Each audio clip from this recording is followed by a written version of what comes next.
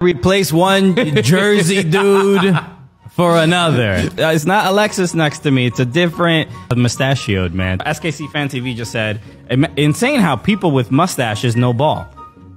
Here we go. I'll take it. I'll take it. I haven't heard that one before. I love that. Justin Freeberg say, kids are going to grow up with the best stash covering the league and with Tommy Scoops. Bro, that should be on your business card.